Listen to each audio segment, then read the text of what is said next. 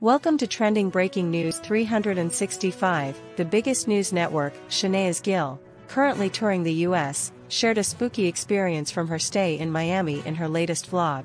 She revealed that she felt a ghost and sensed negative energies in her hotel room.